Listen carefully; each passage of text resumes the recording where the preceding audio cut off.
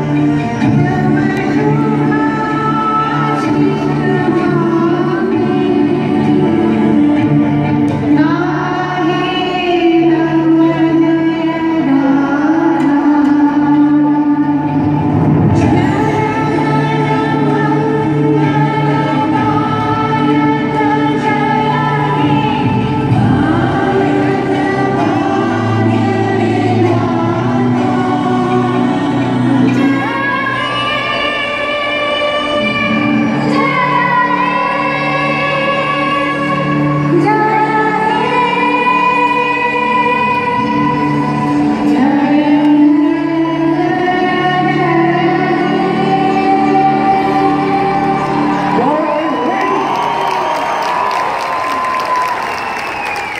And we have the last welcome of Afghanistan.